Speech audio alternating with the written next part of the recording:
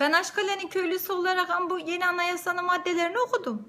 Anladığımı anladım. Anlamadığımdan bilenlere sordum. Anlamaya çalıştım. Anladığım o ki bana göre hiçbir şey yok. Hani diyorsunuz duble yollar, köprüler, hastaneler yapılacak. E yapılacak. Benim de yolum var torpakta. O da kış gelende kapanır. Musluğumda sudan eri kışın akmır. Hastane diyorsunuz e benim de Allah razı olsun. Hastanem var. Ne olmuş devlet hastanesi Aşkala'da? Hele bir sor bakayım. Kulak burun boğaz doktoru var mı? Genel cerrah var mı? Kadın doğum doktoru var mı? Hele bir sor. An kulağım burnum boğazım ağrıdı. Dedim bekle Erzurum'a gidecek. Anamlar bekledi. Babam doğacak çocuğa, hasta adama, yaralı adama ben nasıl diyeyim dişin sık biz Erzurum'a gidecek. Hiç böyle bir şey olur mu?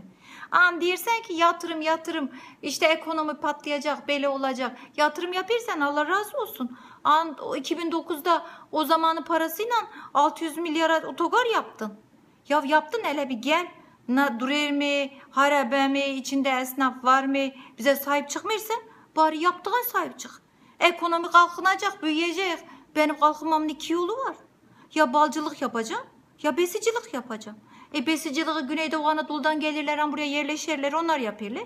Hele sor bir denetim var mı, ruhsat var mı, izin var mı?